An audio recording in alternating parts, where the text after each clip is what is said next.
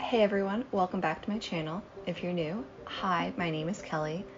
And with this series, I am trying to one up my, my building skills in the game. And this time I'm building in the architectural style of Cape Cod. So as the name suggests, Cape Cod style houses have a history of being in Cape Cod, so US, Massachusetts, Eastern Coast area. They started more towards the 17th century and they gained back popularity after World War II, so like in the 1950s. They're known for like their steep pitched roofs, which I was trying to get. I never built a room like that before with like little windows cutting out, so that was a little difficult for me to try to figure out. Um, but yeah, they have steep pitched roofs to kind of keep snow from falling off. Traditionally, they have symmetrical features with shingled exteriors, typically more of gray or like more weather worn colors. And symmetry is a big part of it. I only really put one chimney, so I was kind of deviating a little bit there. They're known for lack of ornamentation and the simplicity in the outside exterior. So I went through a few different variations with the windows. I wanted shutters to look nice. I didn't go fully traditional Cape Cod because there are three main styles, and I mean, nothing ever is completely strictly by the books. I just wanted to get the overall feel of a Cape Cod house, trying to keep that in mind with the symmetry, the shutters, paneling, and the roof.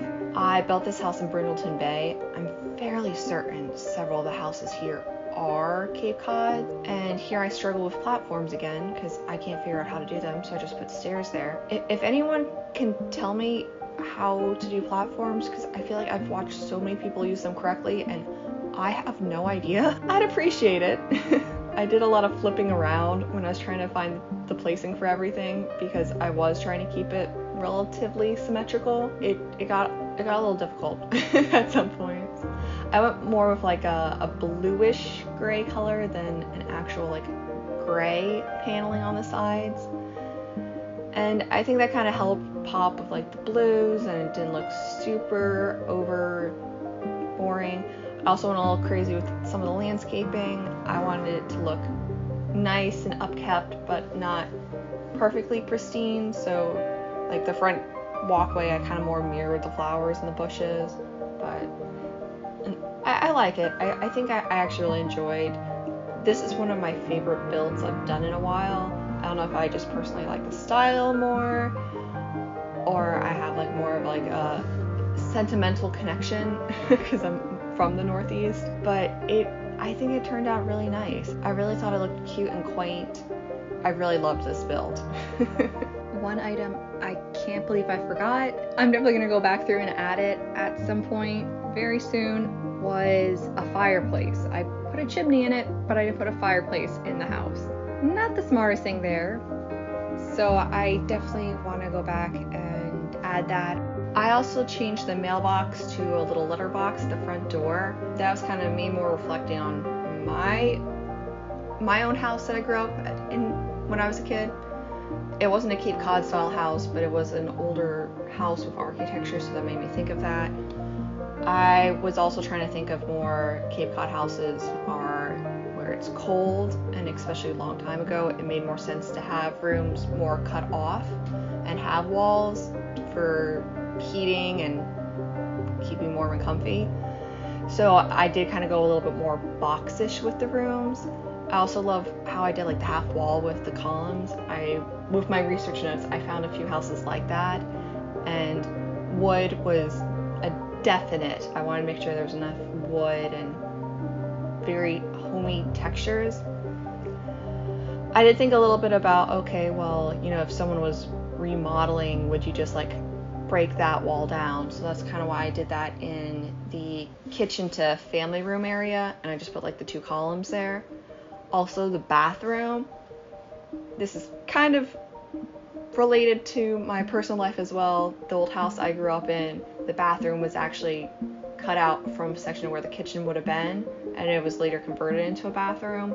So that's kind of what I went with as well. And I had the hardest time with the stairs. I didn't realize that you couldn't put railing on one side. I know that used to be a thing in one of the older games, so I was super confused when I wasn't able to do that. I, it took me a long time of just kind of messing with it and googling it, and then I realized I couldn't. So it is what it is, but I, I still like it. I think it turned out good.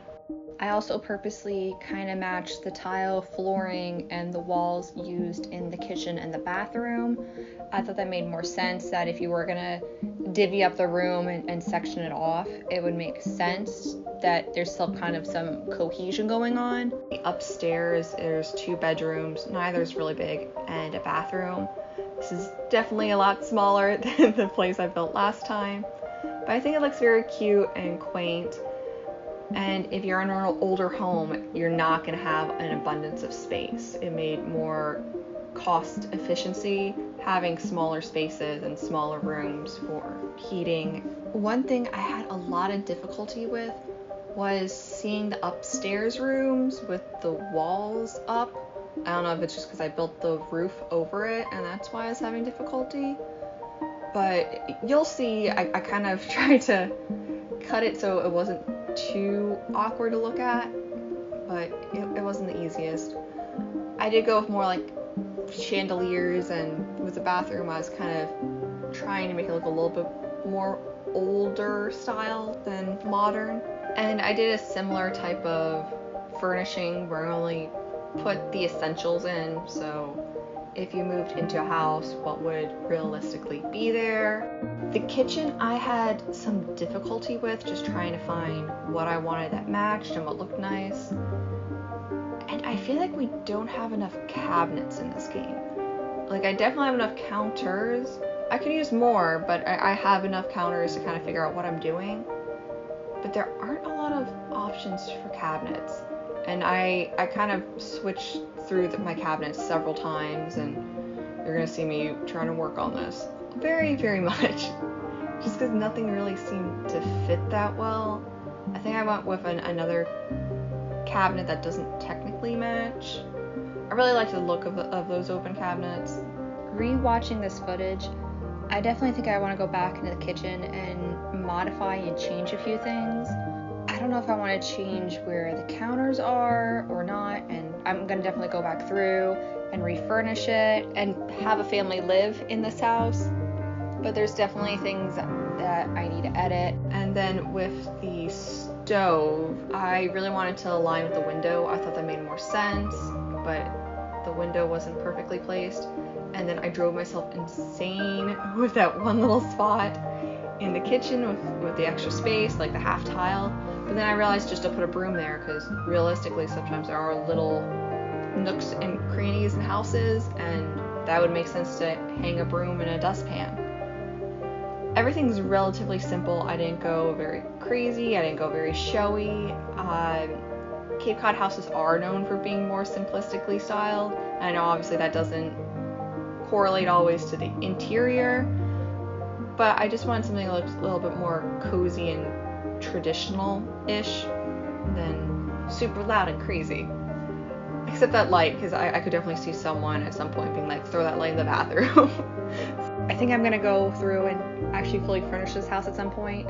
As for the exterior and the shrubbery, I can't think of words this morning. I think I need more coffee.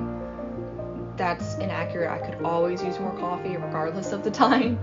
Uh, but as for the landscaping, that word, that word. I, I still don't know what to do most of the time. I loved how the front turned out and I thought it was really cute. And I was like, okay, let me kind of frame it with some bushes. That makes sense. But I still felt like I had so much extra space, so I'm just like, throw giant trees. That makes sense. Just just use up the empty space of trees. It's in Brindleton Bay. It's in the middle of the woods. Hopefully, hopefully that doesn't look too too bad. So I don't know if you guys have any tips for landscaping or just kind of using up the empty space to make it look a little bit more lived in. I didn't really want like a full backyard. Definitely leave, leave some comments. I, I, I, like I said, I'm trying to improve here. So, and here is the completed build. Like I said, this was one of my favorite builds I've actually ever done. I just think it looks so cute and cozy and I want some hot apple cider right now. so it's the exterior. You walk in and there's like a little foyer area, and to which way am I going? to the left, it would be more of like the family area, the family room area with the stairway upstairs. Next to that would be a little door. It's very narrow, but like I said, if you took it from the kitchen, so a very narrow little bathroom there, half bath downstairs. Make sure you see it. And then here is the kitchen. I guess it's like a galley kitchen. Is that what it's called? Where it's just like a long hallway and the the pan and dust room that that totally helped me make the space more believable because that was going to drive me insane having that little extra space. But I think it makes sense. Next to that is the dining room area and a little chandelier there, which I fix. Yeah, I didn't like the color of it. It, it didn't really match, so I guess it was good. I, I went back and double checked everything. After that, we go upstairs. There's just a small little hallway, nothing too flashy, too crazy. Full bath upstairs to share, and then one smaller bedroom on the right, and a little bit larger, be like the master bedroom on the left. And that was it for the build. So I, I really love this house. I definitely want to use it in my gameplay. I'm not quite sure where yet, but I, I, I love how this turned out. I think it was so cute. If you enjoyed this video, please subscribe and like it. And let me know down in the comments below, do you have any tips for landscaping or platforms? Because that's, I just can't figure out how to use platforms every time. I don't know if I'm using the wrong tool or what. But yeah, any any little tips or tricks would be greatly appreciated. And thank you all for watching. I'll see you guys next time. Bye.